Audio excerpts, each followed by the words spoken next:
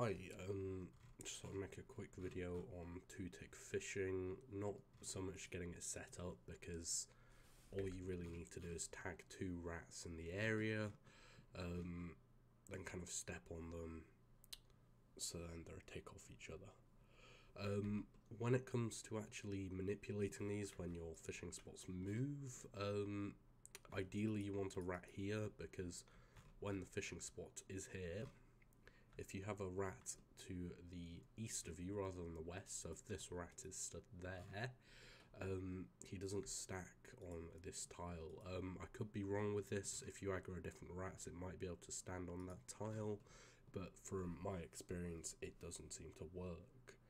Um, when it comes to moving the rats, if you're on this side and your rat's on this side, it's pretty easy to get to this spot. All you need to do is move down, being careful that you don't run too fast.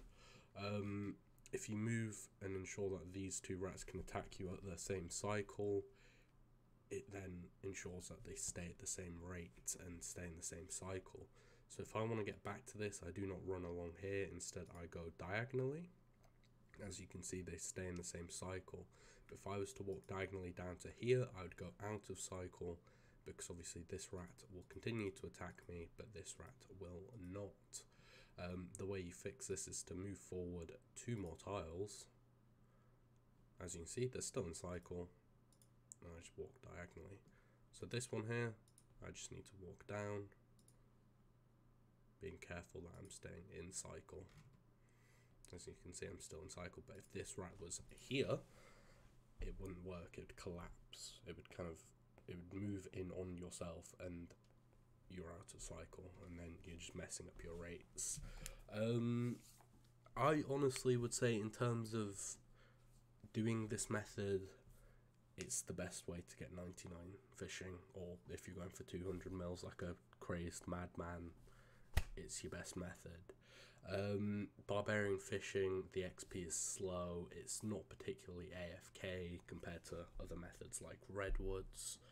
Um, I'd say this is the best method. It's fairly simple to get down, you don't have to pay too much attention, and after doing it for a couple hours, it's pretty much brainless. You do not have to put in any thought. Um, the hardest part is kind of getting the rat set up so you do have one to the west of you rather than the east. But once that's sorted, providing you don't make any mistakes with your movement, you're set for your six hours.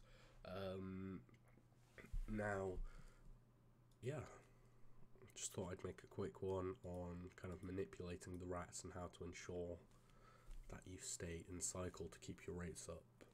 Um, if I am incorrect in this, please make a video or please leave a comment even correcting me and I will obviously get back to you because I am relatively new to this method so if I'm wrong with regards to manipulating the rats to actually get into cycle and staying in cycle when it comes to this that would be great.